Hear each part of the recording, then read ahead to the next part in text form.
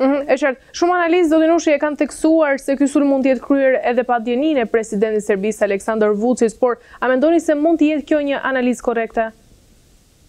Është kemi shumë pak informacion për të bërë analizë të saktë. Përshtypja ime është që jo. Të paktën nëse s'e ka bërë direkt Vuçiqi e ka toleruar, sepse është e pamundur një operacion aq i madh ushtarak,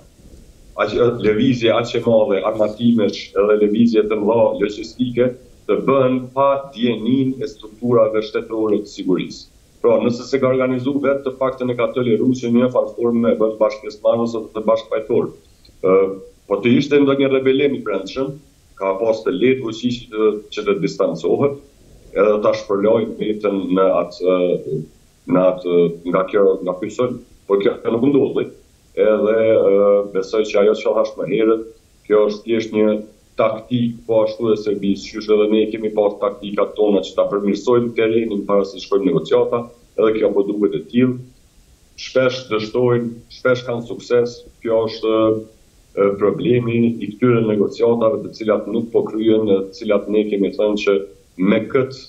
format, me këtë kornizë të këtij dialogu, qysh para dy viteve e gjys, ne kemi thënë që këtu nuk është caku që të arrihet një paqe e përhershme, por është thjesht caku që të arrihet një marrëveshje që do ta menaxhonte apo shtyente krizën për disa vite tjera. Po, por ka pasur dhe hipoteza të tjera që ky sulm pra mund të jetë një kurth i ngritur për Aleksandër Vuçiçin nga nga Milan Radoiçiçi edhe nga Vulin. Po teori konspirative ka shumë. Ka një teori që thonë janë marrë vesh të gjithë këta bashkë që me iau shfaq popujve të tyre një shfaqje të tillë. Unë parapëlqej të mos bazohem shumë në teori konspirative, mirëpo kur s'ka informacion, Dhe kur s'ka fakte shumë të sakta, ndonëse disa fakte tashmë po dalin, pastaj njerëzit fillojnë me u fut dhe t'i japin shpjegim gjërave e streha më e lehtë dhe më që ta ngroh zemrën është konspiracioni. Kështu që unë nuk besoj në to,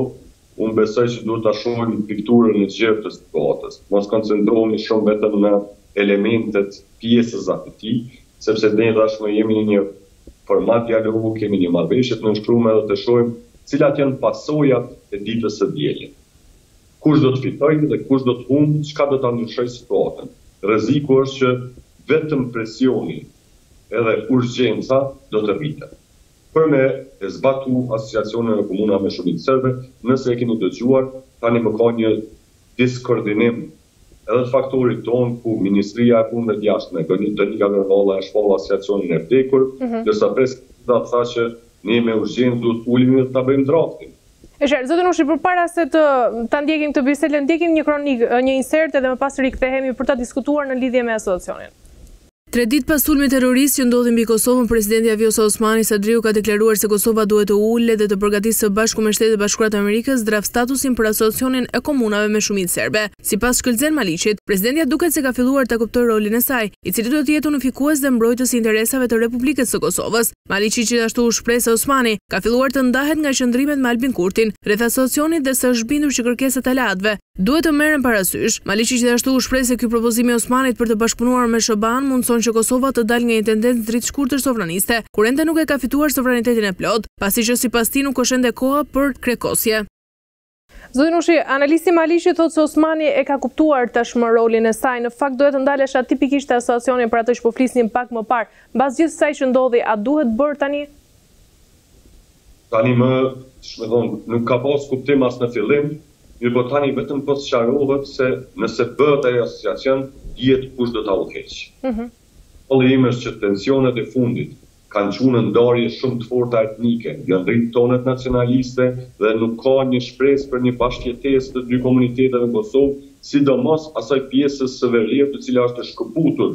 edhe territorialisht edhe si ka një homogjenitet shumë të madh etnik e që tash janë bërë edhe homogjen kundër Qeverisë së Kosovës dhe janë homogjenizuar si kundërshtar të Kosovës, ndonëse kanë pas problemet e tyre dhe vetë me vetë përfaqësuesit e tyre. Mirëpo tensionet e vazhdueshme, shpesh të shkaktume nga Qeveria e Kosovës, e shpesh të nxitura edhe nga andej kufirit, kanë çu në një ndarje më të thellë etnike dhe një asociacion, në këto kushte, është edhe më i dëmshëm se sa ai që është propozuar në fillim, sepse kjo nuk është një nuk është një zgjidhje përfundimtare e këtij problemi. Është një zgjidhje, një